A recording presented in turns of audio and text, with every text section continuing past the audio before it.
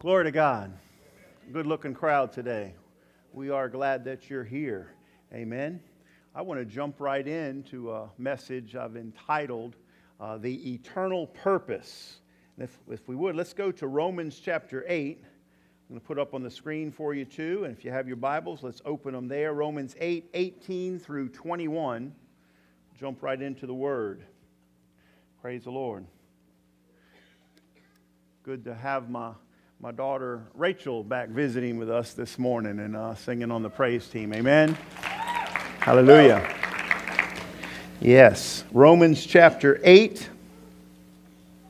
starting in verse 18. Praise the Lord. The Bible says, I consider that our present sufferings are not worthy to be compared with the glory that will be revealed in us. Everybody say, in us. And that's something, something to think about. The present suffering of the effects of the fall that are still left over in the enemy's world that's still around us, and the present suffering don't even compare with the glory that will be revealed in us. It goes on to say, the creation waits in eager expectation and what's the whole creation waiting for? With an eager expectation that it's coming, waiting for the sons of God to be revealed. Folks, that's you and I. The sons of the living God to be fully revealed in all the glory that our Creator has, praise the Lord, through us, through Jesus Christ, and now in us, praise the Lord.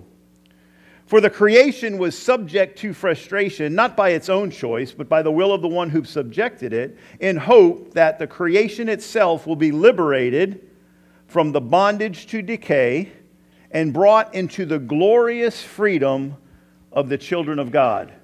There's that word again glorious, glory, the glorious freedom of the children of God.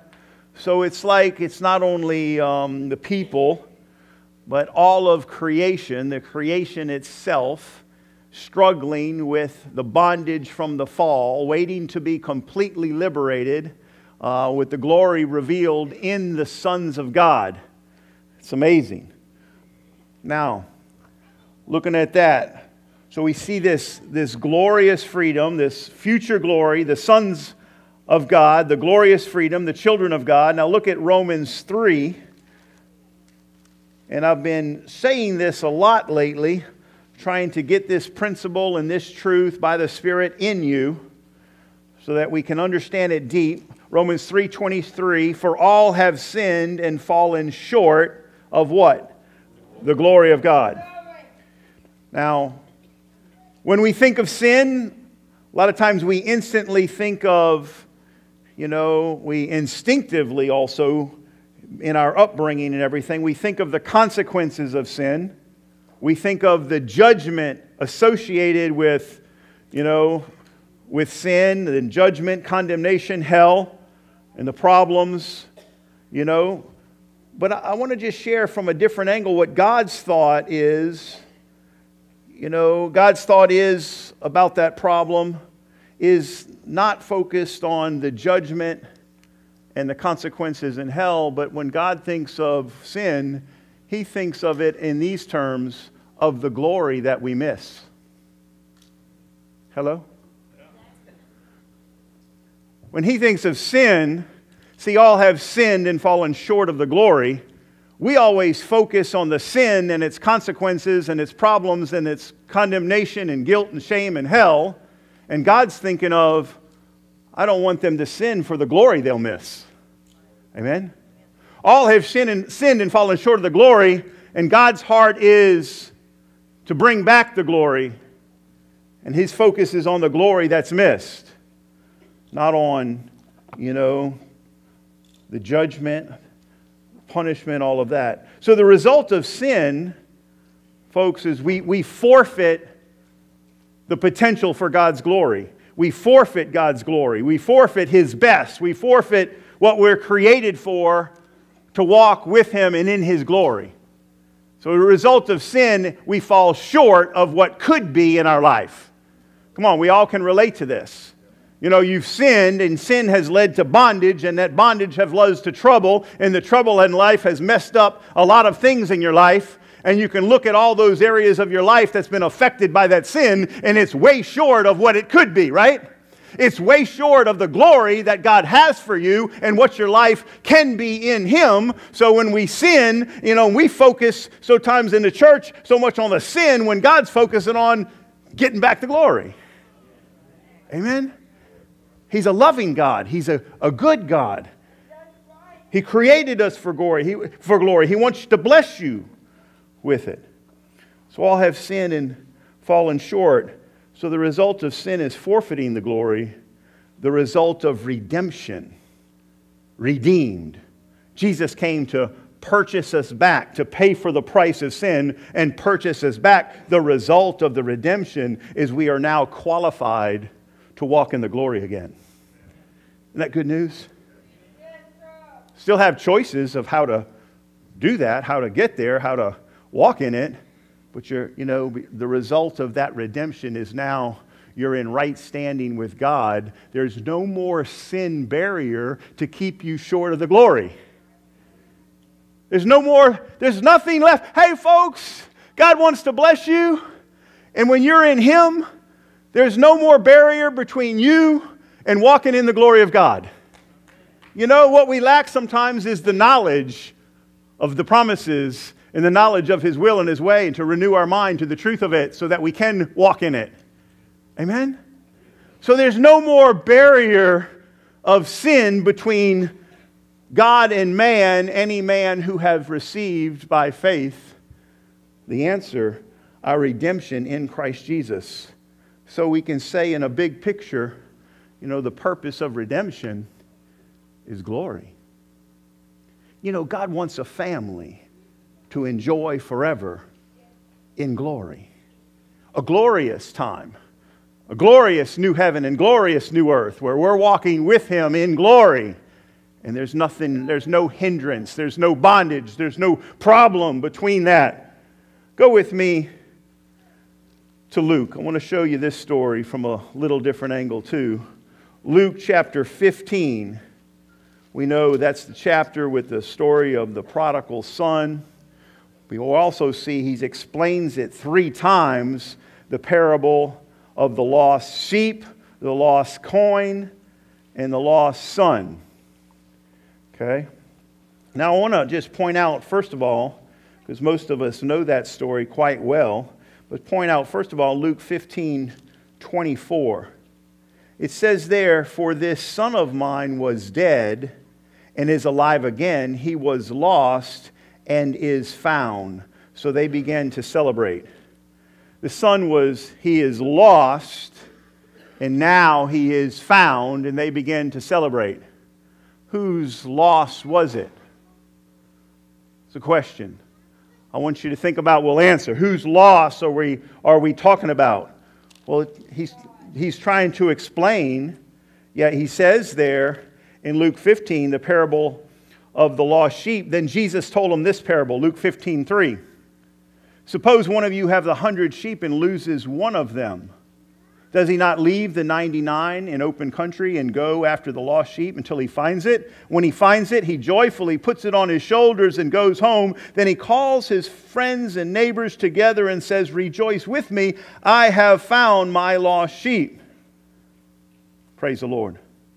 I tell you that in the same way there will be more rejoicing in heaven over one sinner who repents than over 99 righteous persons who do not need to repent. So when the sheep was lost, whose loss was it? It's the shepherd's loss. Yes. So it's the shepherd that had the loss. The shepherd lost, had, had a lost sheep and was willing to do anything to go and find that sheep. In the same way, the parable of the lost coin, verse 8 Suppose a woman had 10 silver coins and loses one. Does she not light a lamp, sweep the house, and search carefully till she finds it? And when she finds it, she calls her friends and neighbors together and says, Rejoice with me, I have found my lost coin. Parables about the lost coin, whose loss was it? It was the woman's loss. Well, folks, in the same way, in the parable of the lost son, whose loss was it? It was the father's loss. And he wanted to find the lost son, he wanted to bring him back. Amen? Mankind was lost, and it was the Father's loss. He wanted to bring mankind back. He wanted to find each and every one of us, bring us back into the fold. You see, God is not satisfied with just his son, he wanted many sons. He wanted, praise the Lord, to reap a harvest from all the nations and have a family. God wants a family of sons and daughters that he can enjoy forever. Praise the Lord. And the whole plan, praise the Lord, for his glory, to reveal his glory. See, God is love, and love has to have someone to love. We are the object of that love. He's satisfied when we, when we receive His love and we are in His love. Praise the Lord. We love Him, He loves us. And praise God, we have a joyful, harmonious relationship with nothing hindering or nothing blocking that relationship. All sin and problem and guilt and shame is removed. We can enjoy one another fully because there's no barrier. Thank you, Lord. Amen. So we're looking at the parable, the lost coin, it was the woman's loss. The lost sheep, it was the shepherd's loss. The lost son, yes, he was lost. Yes, he was suffering. Yes, he was short of the glory, but it was the father's loss. And praise God, it says here in Luke chapter 15, finally, Verse 17, when he came to his senses, he said, How many of my father's hired men have food to spare, and here I am starving to death? I will set out and go back to my father and say to him, Father, I have sinned against heaven and against you. I am no longer worthy to be called your son. Make me like one of your hired men. So he got up and went to his father. And I love to point out one word in this next verse. It says, But while he was still a long way, his father saw him and was filled with wrath and judgment. No, that's not what it says. His father saw the lost son who was struggling, and it was the father's loss, and he wanted him back. And the way to get him back, praise the Lord, was not wrath and judgment. It's not his way. It doesn't say the father was when he saw him come coming was filled with wrath. No, the Bible says the Father saw him, praise, a long way off.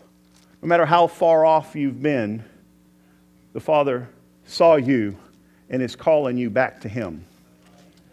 Is the Father's loss. He wants you so bad. He wants us so bad into his family. He sent his only son to make a way to remove the barrier that you might come in. And He's reaching out to you not with judgment, not with wrath, not with punishment, not with guilt, not with shame. What did the Father do? This is a picture. Jesus is telling us what the Father's like through this parable. A parable is a story that we about things we can understand on earth to show us something deeper about the Father. So in this parable, He's showing us the Father's love. He says, the father saw him and was filled with compassion for him. Yes. Yes. Whenever you're struggling, whenever we were far away, a long way off, he saw us, had compassion on us, and he says he ran to his son, threw his arms around him, and kissed him. The son said, I have sinned against heaven and against you. I'm no longer worthy.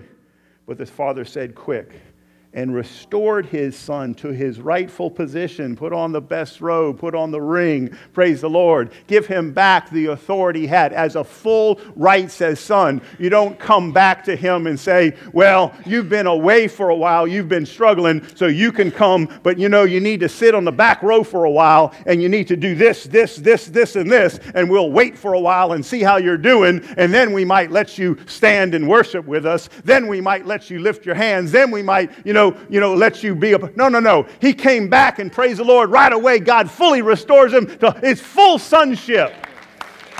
See, he wants us in our full right place as sons and daughters of the living God. Hallelujah. Now, from Luke there, just flip a few more pages, go to John chapter 1. John 1.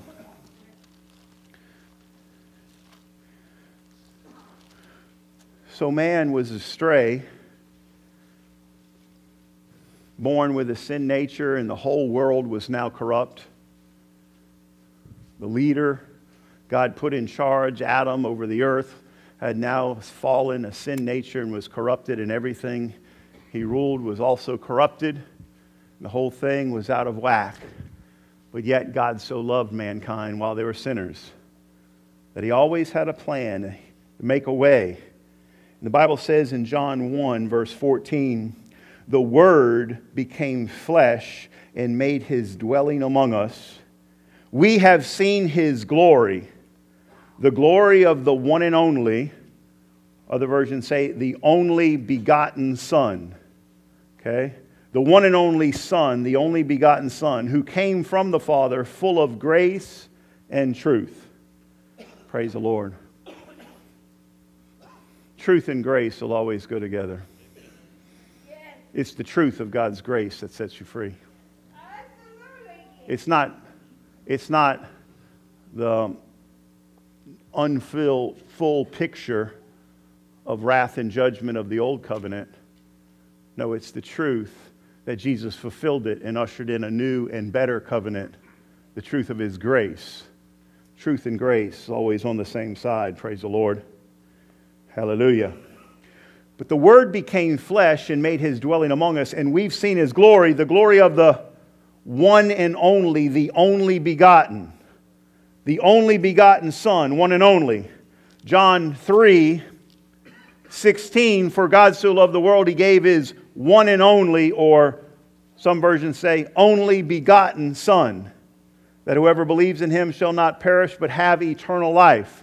So here was all the people on the earth, all of the people, all of mankind from Adam were God's creation, but not God's sons and daughters. Jesus comes as the only begotten Son, the only one. Amen? The only begotten Son of the living God.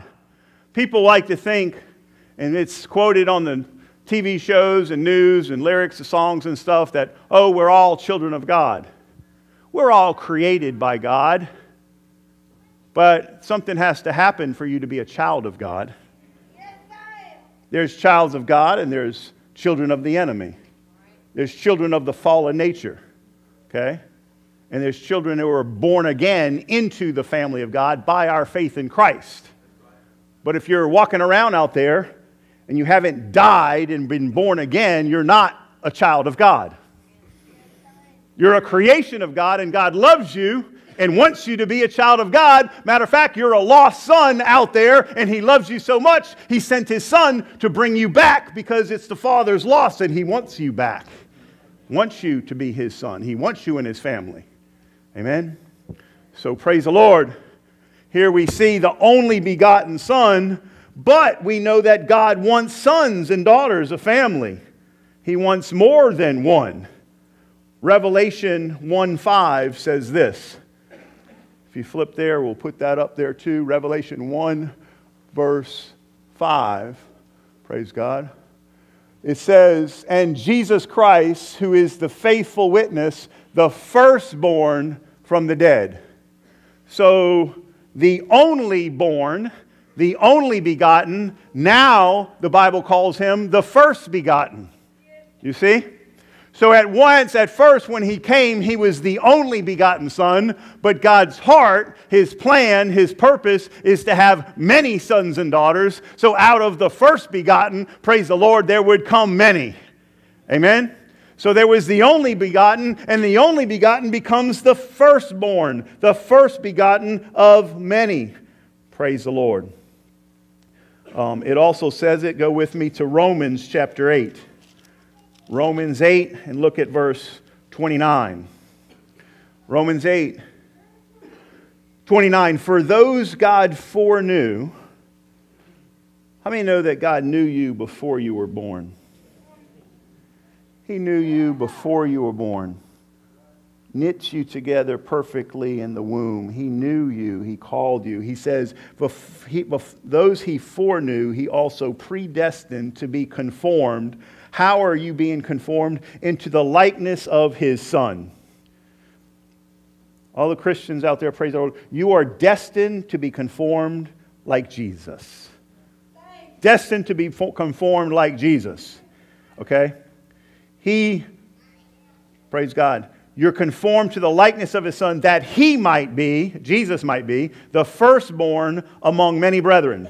So I'm just emphasizing the point to you today, church, that Jesus was the only begotten, but God's plan was to make him the first begotten of many. Amen? He was the only begotten Son. And the glory of the Father was in him, and we beheld his glory, the glory of the only begotten, the one and only. So, look at Jesus is to see the glory of God. To look at Jesus is to see the life of God walking around on this earth in full glory. Amen? So, we see how it can be, what it's like, Jesus Christ, the fullness of God on the earth. Praise the Lord. The only begotten becomes the first begotten. And then it goes on to say, and those he predestined, that's me and you, he also called. For those he called, he also justified. Past tense, you are justified just as though you've never sinned. Justified. Those Jesus called, you were lost. Okay, you've been found, hallelujah. He paid the price. He washed your sins. You have died. Your old nature that was a sinner has died, has been buried. You have been resurrected in Christ Jesus, and you are justified. You're a new creation, just like you've never sinned, and you're not a sinner because the justification of Christ. Amen. Those he justified, watch it takes it to another step. He also what?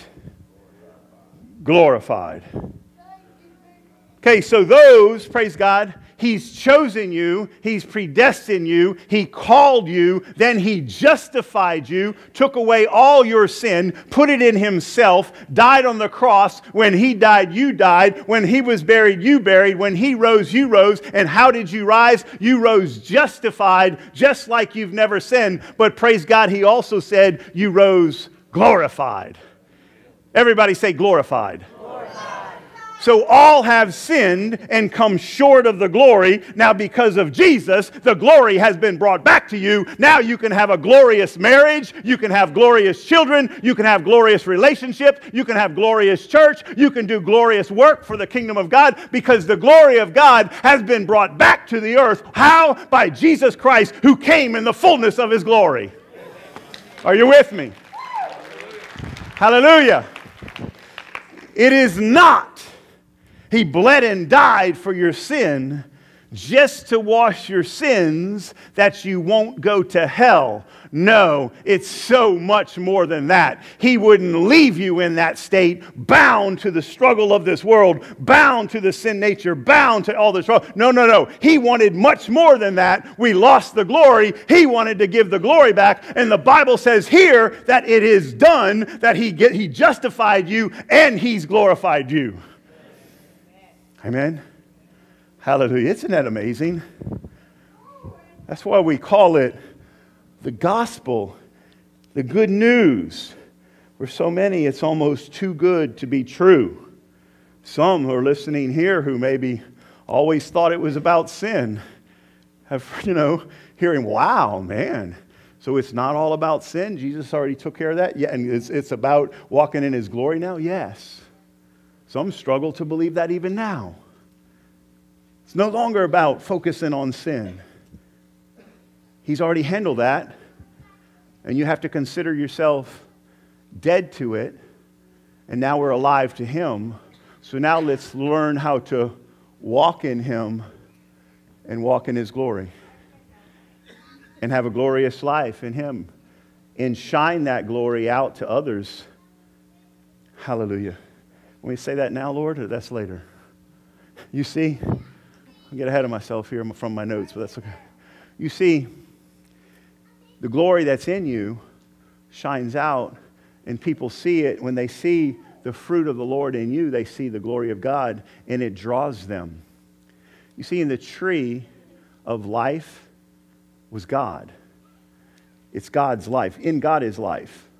Without God, there's no real life. People who are walking around there without God from Jesus Christ are walking dead the zombie movies are really true. they're not really alive. According to the Word of God, their heart might be beating, they might have brain functions and in and out with their lungs, but they're not alive till they're in Christ. Real life is in God. Outside of that is not real life yet. They're walking around, but they're walking dead. And when we were dead in our sins, God made us alive. So, in God's way of thinking, people who aren't alive in, in Him aren't alive yet. Can you get that? It's supernatural, it's spiritual. His ways are higher than man's ways. We think people are alive when the heart's beating. No, no, no. So, when we were dead, who made us alive? God did. God made us alive. He drew us. We were lost. His light was shining. We came to the light and He made us alive. Hallelujah. It's a supernatural thing. He made us alive. So in the garden, God is the life. But how do you take part of the life? You have to eat the fruit. What did what could have they eat? What did we eat to take part of life? Jesus is the fruit. When we take the seed of God, the Word of God, the Word was planted in the earth. Unless a kernel of wheat fall to the ground and die, it produces nothing. But if it dies, it produces much fruit. It was talking about Jesus. He's the Word of God planted in the earth, and now it's produced much fruit. How? Because you heard the Word and tasted and see that it was good and took a bite and swallowed it, and now Christ is living in you. Hallelujah.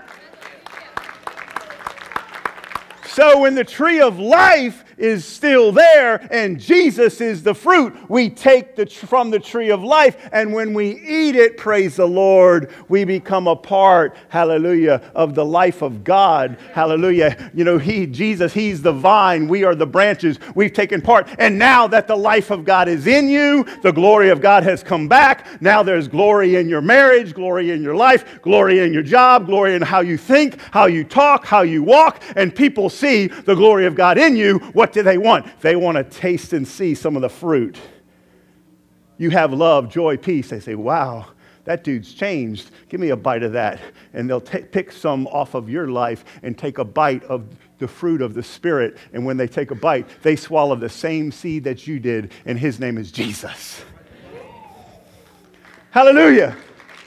So the kingdom of God goes from glory to glory, from step to step, it's filling the whole earth. Amen. Glory to God.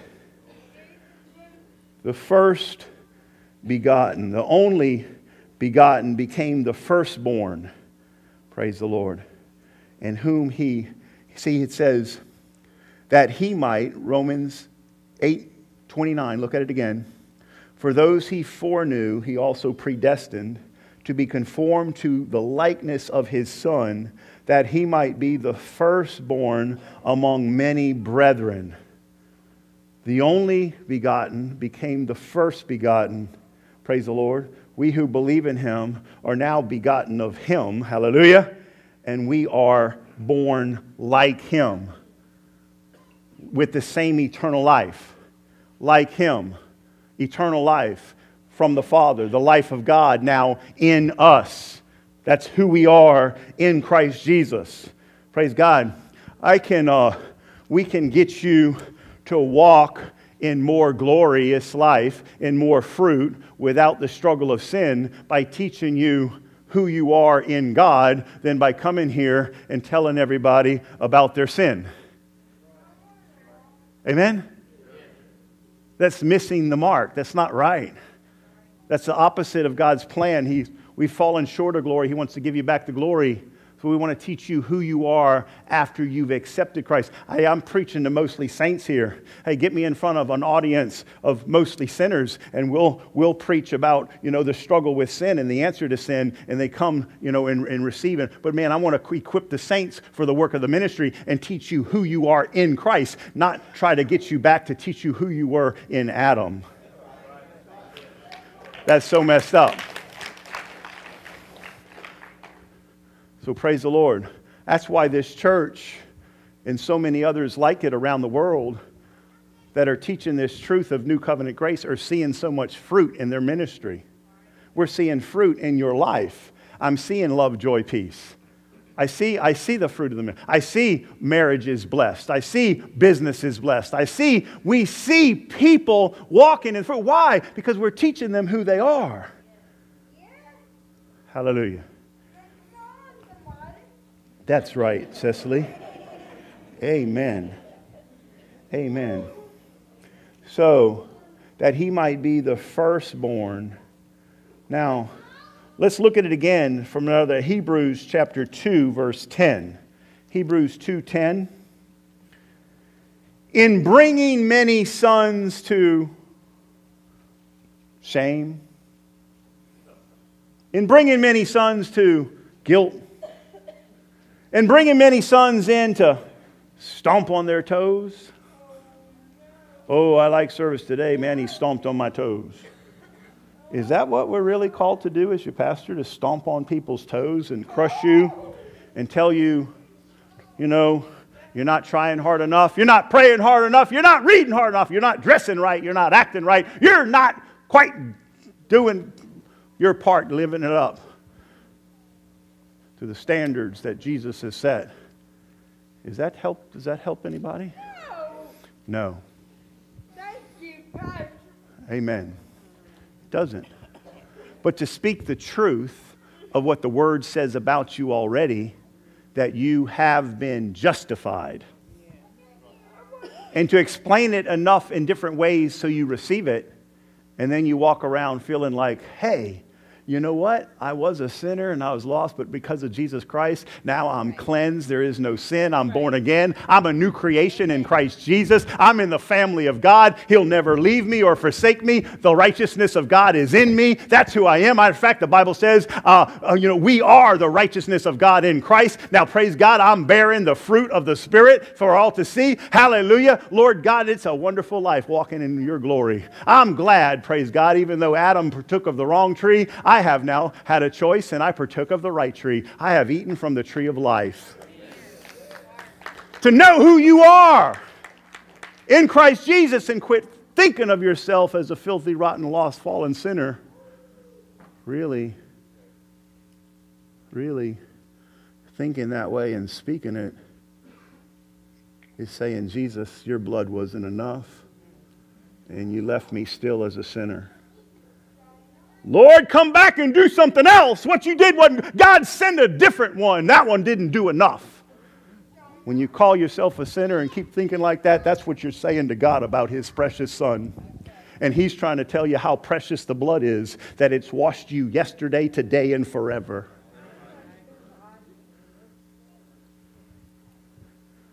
And if you struggle back out there in the world and you start slipping up, falling away, from this truth, you know what we need to do for you? Come to you and remind you that you've been found. Remind you that you've given your life to Christ. Remind you that you're saved. Remind you that you're righteous remind the truth of the word because Satan's tried to block it and say you're no good, you're still this, you're still that, and got you to swallow a lie and it's messing you up by getting you back out there. So we, the saints, come to you not picking on your sin and bringing that out. You already know it. We're here to tell you, no, this is not who you are. You're a born again believer. I know you because I see you how the Father sees you. If any man be in Christ, you are a new creation, and that word will bring them around a whole lot faster than trying to step on their toes and bring it out with guilt.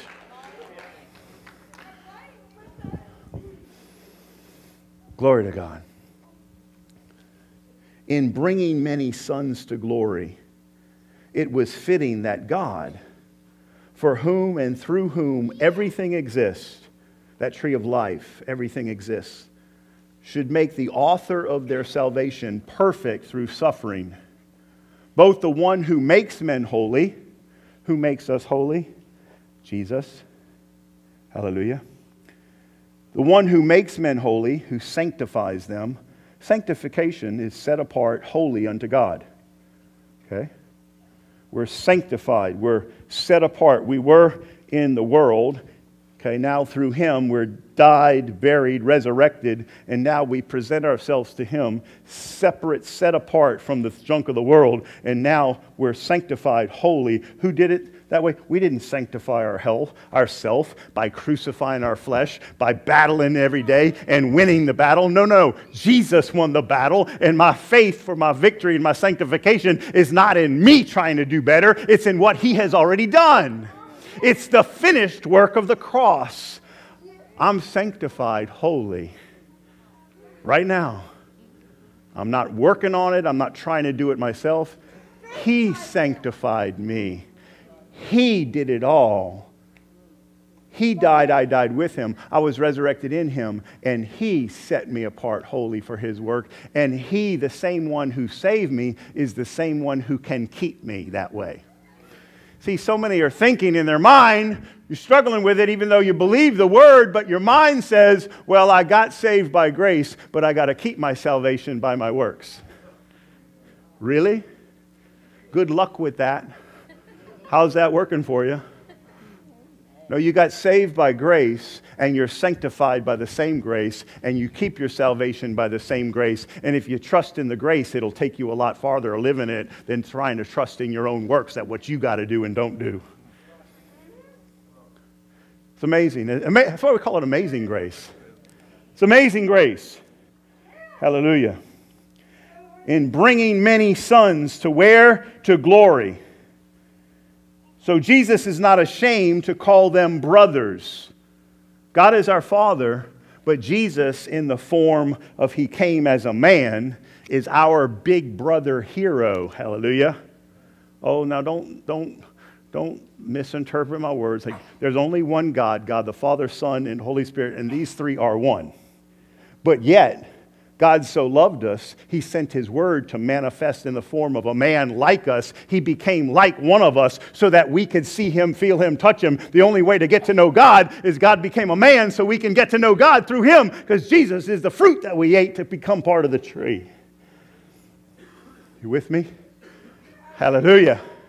So, amen. He's bringing many sons to glory he says, I am not ashamed to call them brothers.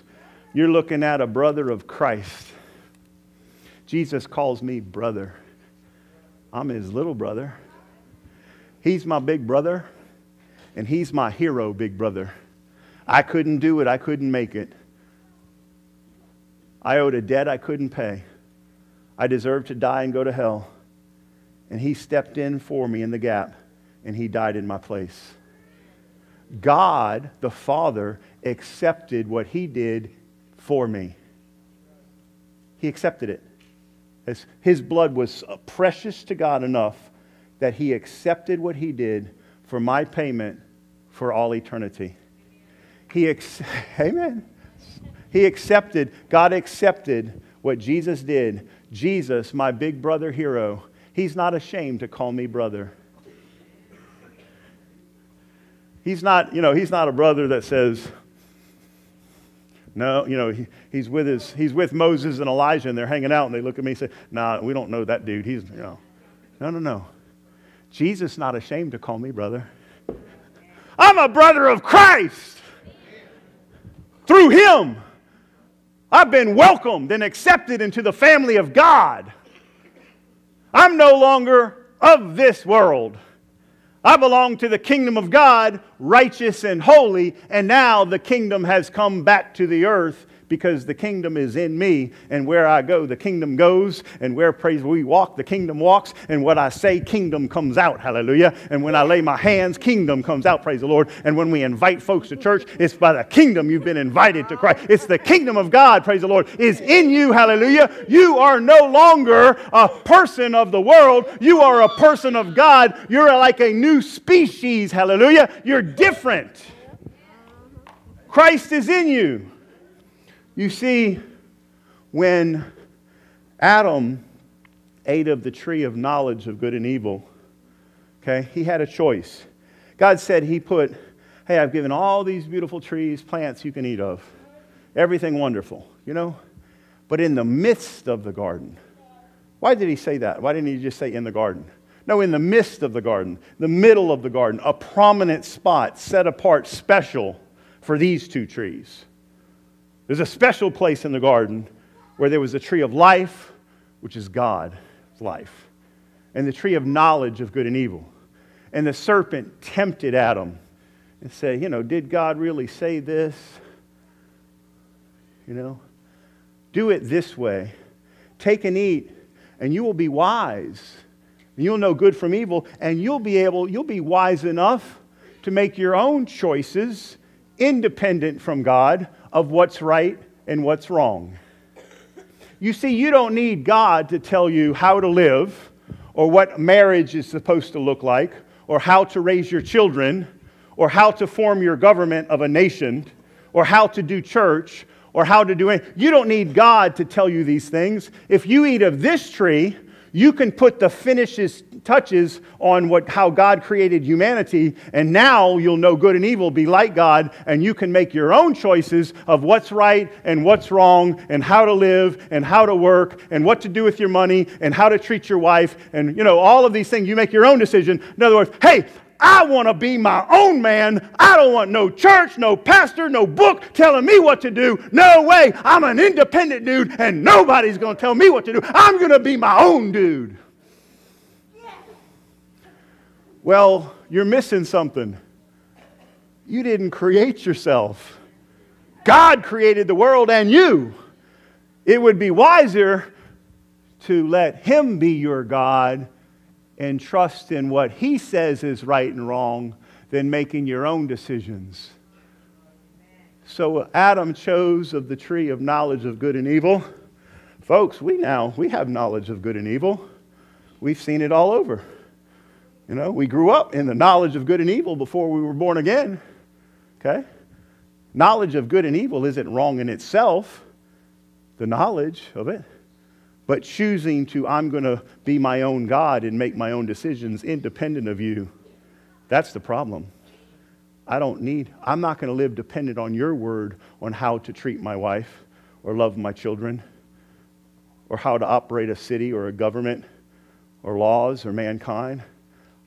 I believe mankind, we can, we can have, you know, we've got brilliant men women, we can put them in charge and put them in leadership and let them write books on philosophies of government, communist manifestos, and this and that, and have all these different ideas of how to run the world. And if man grows smart enough and high enough, we can put our intellect together, reach the stars, build a tower to Babel. We can do all of these different things. And mankind, we can achieve, you know, world peace. We can clean the environment. We can stop, you know, solar this and that. We can save the whales. We can save save mankind. If mankind puts our intellect together, we can be our own God and we can save the planet and our species. And as a matter of fact, the biggest problem in mankind that we're going to die, hey, the scientists are already working on that. They've got new genes, new things to, to put together, and they're already trying to make man live forever. You know, put your brain in a box and freeze it and stuff like that. They're already working on. That's mankind's solution. We don't need you, God. If we get our our smartest and brightest people together, we can figure all this out ourselves and we can make the world a great place. We don't need you, God. That's the tree of knowledge of good and evil. I don't want to be dependent on. That's the same tree Many eat from most of their life. No, God, I see the invitation. There's churches on every corner. It's on radio, TV, but I won't watch it. I won't listen. Yes, my mama had a book like this in the house, but I don't want to pick it up. I don't want to read it. I'm going to do things my way. You're, we're just like Adam saying no to the tree of life, yes to my own knowledge of good and evil. Are you getting it? You understand the two trees a little better now? There was two trees in the garden. It was a choice. And it had to be a choice because if he made everybody eat of the tree of life, he could make your life perfect, but you'd be like a robot. You still have a choice. The choice is still out there. The life is, is in God. Outside of God, there is no life. Praise the Lord. Yes. Hallelujah. John 12, 24. Unless a kernel of wheat falls to the ground and dies, it won't bear anything. But if it dies, it will bear much fruit. Jesus, the Word of God, came to this earth, praise God, because he wanted, God wanted many sons. The first begotten, the only begotten, became the first begotten of many. And he grew, praise the Lord, died on the cross, and we who believe in him, praise the Lord, we partake of that seed of the word. And a seed will only reproduce its own kind. The seed of Adam reproduced fallen man. The seed of Christ will reproduce Christ in you, spiritual man, holy man, right with God, no sin, justified and righteous. That's what's in you. That's the truth of who you are. Yes, it's housed in an earthen vessel. And praise the Lord, we still have live in a fallen world, and sin is not completely eradicated, but you are, you're dead to it. So we still have to deal with it, but He's given us the victory on the inside. So if we consider ourselves dead and alive with Him, and we understand that we're part of a new species of people on earth, then, pro folks, I'm telling you, if you would live this way, thinking, you know what? I did have all these struggles. I'm dead to sin. I'm alive to God. Now, the life I live is not my own. It's Christ purchased it. So, my life, my hands, feet, mouth, eyes, everything is His. I belong to Him. Now, Lord, continue to fill me with your truth and spirit as I study and grow in your word, and let me walk this thing out. Teach me how to walk. Hey, I'm encouraging you to walk this way. Walk in the way where you think, hey, I'm right with God because of Christ. I'm in the family of God. Hallelujah. Everything is good. Glory to God. So now that all this is, you know, right with God, show me what you want me to say, Lord, how you want me to act.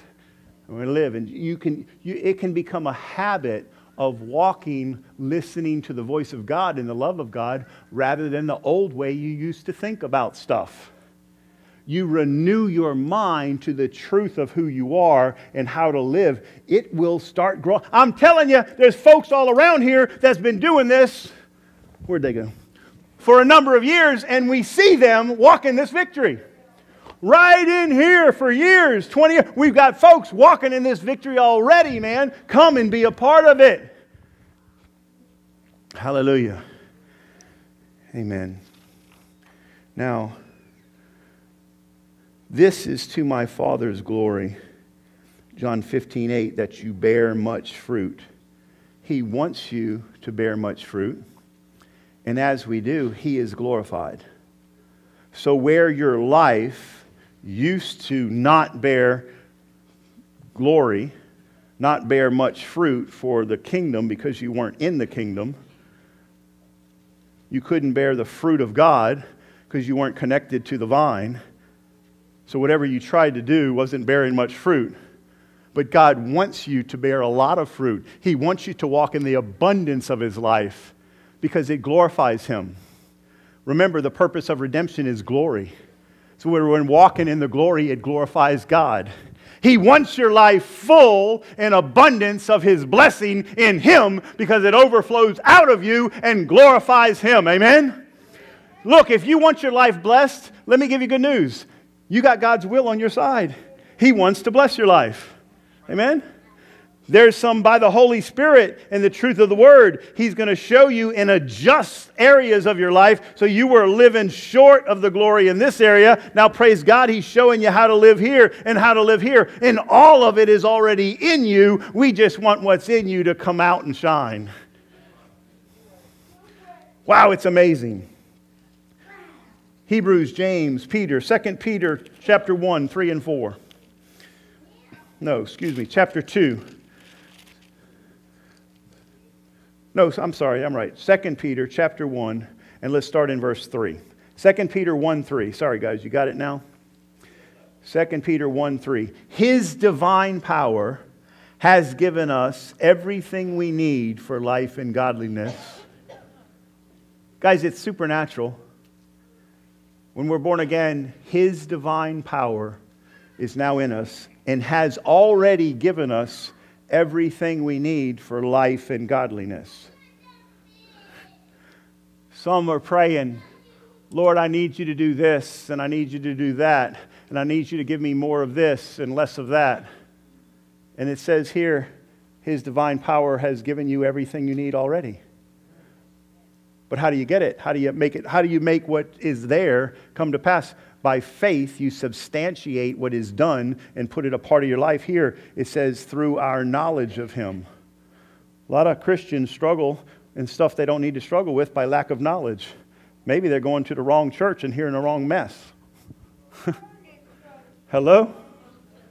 You need to hear the truth of the word of who you are in Christ and learn how to bring it out. Amen? Through our knowledge of Him who called us by His own glory and goodness.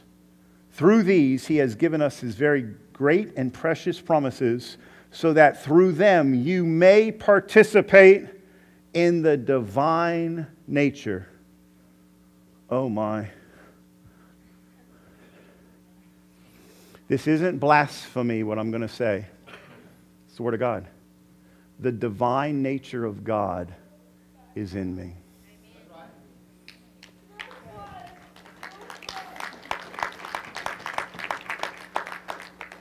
I didn't earn it. I didn't work to get it.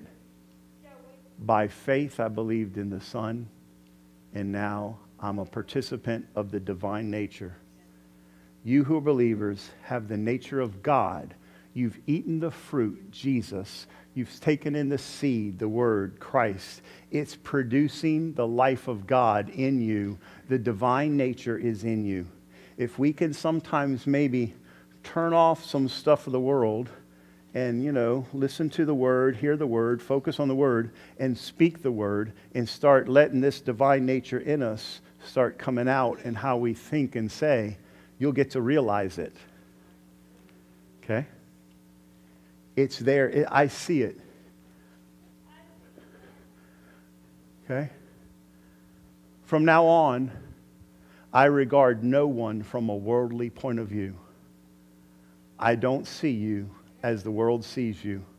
From now on, I regard no one from a worldly point of view, because if any man is in Christ, he is a new creation. I'm not looking at any of you as a, as a worldly sinner. I'm seeing you as God sees you, as a new creation in Christ Jesus, holy, blessed. Amen? That's what I see. Amen? When you're speaking to someone, your child, your son or daughter, whatever, don't speak negative stuff if they're born again. Speak what Christ says about them.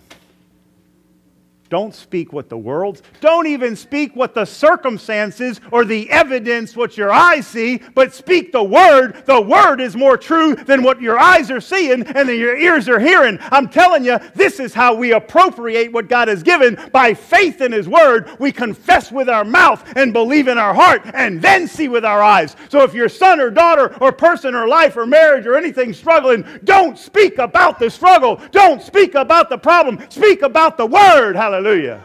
Because the word is more real than what you see with your eyes. It's a faith walk. Hallelujah. So good. Through them, you have, you're participating in the divine nature and escape the corruption of the world caused by evil desires. We escape the corruption of the world or evil desires. How? Because I know we're participating in the divine nature. Praise the Lord. Man, you know, I enjoy teaching so much the Word of God to you. I see people over many years who've received it. It's changed them. They're excited about it. They share it. They live it. See their lives. Hey, they go, they, get, they get books. They read their scriptures. They visit other churches that are Folks, it's, we're, not, we're not trying to contain anyone and, hey, you have to, you know, it's, it's, it's this church and, and this pastor and this. No, no. We want to give you the word. This is the same word that Paul taught. This is the same word that's been around. It's going around all over the earth. See, God is bringing his people to the fullness of all his truth. And as we grow in this truth, we're becoming more like him. As we become more like him, his glory is being revealed around the earth. It's happening everywhere, man. It's happening fast and it's multiplying in you. Father, I thank you right now for this congregation. I thank you for the truth of your word, of who we are in Christ. Lord, we thank you for the message, hallelujah, of your eternal purpose. Your eternal purpose has to do with the glory, glorifying you by glorifying your people who are walking in you. Amen. We give you praise, Lord, that you didn't leave us short of the glory. You made a way to bring the glory back to every aspect of our life. Bless this congregation, Lord God, to see it in their spirit, to believe it in their heart, to confess it with their mouth, to read the scriptures themselves, to take it in, and to proclaim it and walk in it. In Jesus' name. Hey, we love you all. Y'all have a great and blessed day.